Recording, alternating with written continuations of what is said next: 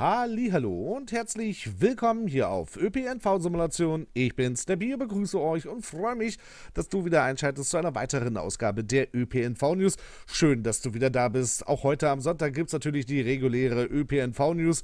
Abseits der Gamescom ist natürlich auch einiges passiert und das wollen wir jetzt hier gerne in dieser Folge abarbeiten. Denn es ist die neue Strecke Frankfurt-Koblenz für den Teilsimulator 2020 erschienen. Ebenfalls hat 3D-Zug sein ICE 1 veröffentlicht und wir haben neue Informationen zum OMSI 2 Addon London. Das alles und mehr gibt es jetzt hier in den News. I can fly.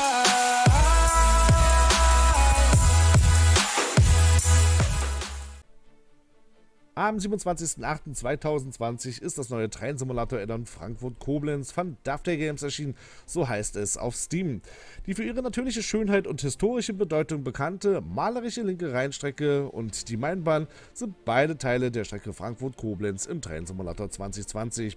Insgesamt haben wir hier 130 Kilometer Strecke, die malerische linke Rheinstrecke von Koblenz Hauptbahnhof nach Mainz Hauptbahnhof, die historische Mainbahn von Mainz Hauptbahnhof nach Frankfurt, 34 detaillierte Bahnhöfe, enthält Regional- und Fernbahnhöfe am Flughafen Frankfurt. Der Bahnhof Getaway Gardens ist ebenfalls enthalten. Es gibt die Baureihe 429.1, die 411, die 423, die 101, die 185.1 und die 294. Wir haben insgesamt sieben Karriereszenarien und drei Szenarien für das Railfan-Modus. Das Ganze kostet auf Steam 29,99 Euro.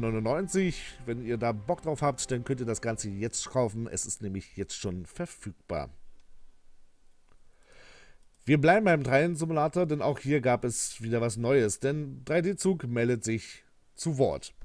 Von vielen sehnsüchtig erwartet, gab es äh, sich zunächst ein wenig schüchtern und scheute noch das Rampenlicht doch nach etwas gutem Zuspruch stürmte unser IC1 nun voller Selbstvertrauen die Bühne und erobert die Schienen und die Herzen im Flug. Insgesamt sind jetzt hier der ICE 1 hochdetailliert, voll nachgebildet, jetzt für den Train Simulator 2020 äh, verfügbar, voll begehbar. Alle Wagen haben aufwendige Innenaussichten auf ganzer Länge. Jeder Wagen wurde individuell gefertigt, detaillierter Führerstand, Taufnamen, der grüne ICE ist enthalten, erweiterte Funktionen unter anderem die SIFA, AFB, PZB 90, LZB und die Ebula. Realistischer Sound, ein Handbuch, sechs Aufgaben für jeweils zwei. Hamburg, Hannover, Frankfurt Highspeed und Berlin-Leipzig enthalten. Für die Szenarien werden allerdings noch das Verkehrspark Güterwagen und die BR 442 DTG und Metronom benötigt. Das Ganze kostet auf der Seite von 3D-Zug 29,07 Euro. Aktuell natürlich die Mehrwertsteuer gesenkt. Wer sich den DLC kaufen möchte, dann packe ich euch den Link unten in die Videoschreibung mit rein. Kommen wir zu OMSI 2 London. Wir haben das Ganze ja bereits schon auf der Aerosoft-Pressekonferenz ja schon soweit ja angeteasert, dass da jetzt nun doch was kommt. Jetzt gibt es aber mal wieder ein paar Neuigkeiten. So, unter anderem sind jetzt die Busmodelle aufgetaucht, die jetzt äh, mit dabei sind. Wir haben hier den ADL Enviro 200, den ADL Enviro 400, den Evo City und den Wrightbus New Routemaster. Folgende Linien werden mit enthalten sein, unter anderem die Abellio London, die 3N3, die bereits schon bekannt aus dem South London Project sind, die 159, die 201 und die 415. Go Ahead London haben wir hier die Linie 12, 45, 68, X68, die 322, die 432 und die P5. Arriva London hat die Linien 59, 133 und äh, N2 und zusätzlich gibt es auch noch einen Schienenersatzverkehr Rail Replacement Service von der RRP. Das aktuell ist jetzt das, was jetzt rausgekommen ist. Und es ist noch äh, ein kleines Bild aufgetaucht, äh, welches äh, das Datum zeigt. Aktuell soll es wohl jetzt am 7. November rauskommen. So wurde das Ganze jetzt bei Amazon gelistet. Ob sich das dabei um ein Fake-Bild handelt, können wir jetzt hier nicht sagen. Deswegen müssen wir vorsichtig sein, dass wir das Ganze jetzt hier erstmal vorsichtshalber als Gerücht einstufen müssen. Soweit, so gut wir bleiben bei OMSI, denn auch von Berlin BRT ist irgendwas Interessantes aufgetaucht. Und zwar hat man bei dem Handbuch von Berlin BRT einiges äh, über das C2 Addon rausfinden können. Unter anderem hat man das Ganze jetzt, äh, wie gesagt, im Handbuch von Berlin BRT ähm, rausgefunden, dass es wohl ein Citigo Standard geben soll, ein 2 bis 3 Türer, ein Citaro artikuliert, 3 bis 4 Türer, Citaro Ü mit zwei Türen, Citaro GÜ drei Türen und ein Citaro LE zwei Türen. Ob das Ganze jetzt noch für das Berlin BNT Addon nachgeschoben wird oder ob das schon das Handbuch ist für die C2 Stadtbusfamilie Volume 1, ist allerdings noch nicht bekannt. Wir werden euch aber weiterhin auf dem Laufenden halten, sobald da neue Informationen da sind. Auch hat Projekt Gladbeck sich mal wieder zu Wort gemeldet, wo wir doch in den letzten News noch berichtet hatten, dass ja ihre aktuellen Projekte pausieren mussten, weil es da wohl Probleme mit äh, der Bing-Map gab. Konnte man das Ganze jetzt bereits schon beheben und man arbeitet natürlich jetzt wieder fleißig an der Linie 721 und somit ist auch schon ja, die erste Testfahrt zwischen Flughafen und Hauptbahnhof auf dieser gigantischen langen Buslinie jetzt äh, nun äh, abgefahren, hat dazu einen Screenshot gemacht. Allerdings wirkt das Bild irgendwie ein bisschen wie vom Foto ab, äh, so vom, vom Handy abfotografiert. Sieht ein bisschen überbelichtet aus. Ob das Ganze jetzt äh, ja der Wahrheit entspricht, können wir jetzt natürlich nicht sagen. Allerdings wurde das Ganze offiziell äh, von ähm, Facebook gepostet. Dementsprechend können wir davon eigentlich von einer sicheren Quelle ausgehen. Dementsprechend, falls es hier wieder neue Informationen gibt, dann erfahrt ihr das hier natürlich bei uns. Der Microsoft Flight Simulator, auch hier gibt es wieder was Neues. Microsoft hat den ersten DLC für den Microsoft Flight Simulator 2020 veröffentlicht. So heißt es auf der Website von Aerosoft. Gratis für Sie AS der Airport Paderborn-Lippstadt. Der erste Aerosoft und deutsche Flughafen DLC für den Microsoft Flight Simulator ist ab sofort erhältlich.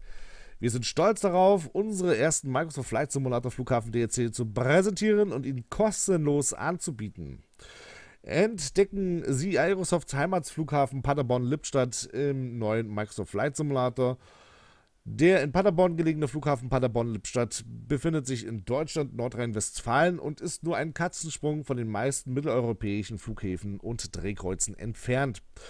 Folgende Features sind mit enthalten: eine detaillierte Nachbildung des Flughafen Paderborn, benutzerdefinierte Luftbilder, die den Flughafen und die Umgebung abdecken, aktuelle Start- und Landebahn, Rollbahn und Standlayouts, benutzerdefinierte Rollbahnbeschilderung, realistische Nachtbeleuchtung, genaue Darstellung des äh, Terminals, kundenspezifische Jetway-Modelle und kundenspezifische Windsack-Modelle. Das Ganze findet ihr allerdings nicht auf Steam oder auf, ähm, äh, auf äh, im Store von dem Microsoft, sondern das Ganze müsst ihr euch dann halt auf der Seite von Aerosoft direkt runterladen. Dementsprechend, der Link ist unten in der Videobeschreibung. Gehen wir mal wieder zurück zu OMSI in den britischen Bereich, denn auch hier gab es natürlich einiges. Neben OMSI 2 London hat sich jetzt auch, äh, ja, Master Switch schon mal wieder zu Wort gemeldet und hat mal ein kleines Teaser-Bild veröffentlicht. So heißt es, auf dem Virtual Hub Server ist ein neues Bild von drei Bussen vom Master Switch Studios erschienen. Hierbei handelt es sich um folgende Busmodelle der Firma Wrightbus. Ganz links sehen wir den Street Deck. Dieser ist aus dem Gen 3-Pack äh, schon äh, viel bekannt, hier als Hydrogen-Wasserstoff-Variante.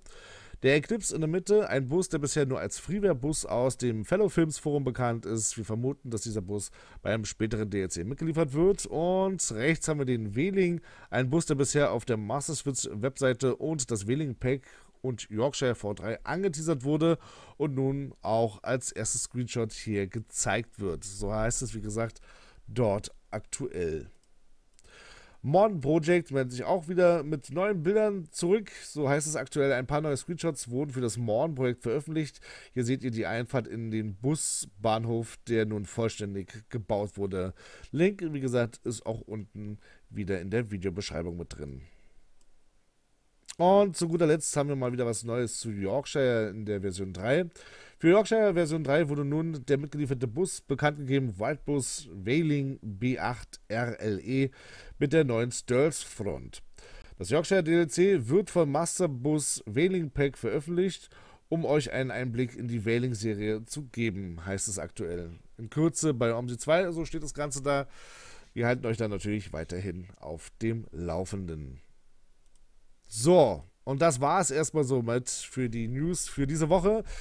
Heute Abend gibt es nochmal ein weiteres Video, ein weiteres kleines Interview, was wir hier führen durften, allerdings nicht wirklich filmen durften. Dementsprechend, ja, schauen wir uns das Bildmaterial dazu an und äh, ich lese euch praktisch alles vor, was wir da uns da notiert hatten.